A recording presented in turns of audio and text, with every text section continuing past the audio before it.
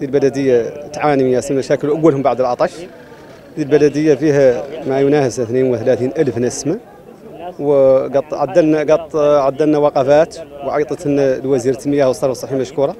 لكن الطلب اللي قالت لنا ولب- ولبات لنا به النداء ما زلنا نختاره لا لا لا, لا يعدل. به اللي قالت لنا عندنا حفر جديد تربطونا للحفر القديم اللي كان أصلا ما هو صالح للشرب عاد مملح للحفر إلى حد الساعة بعد شو 20 يوم.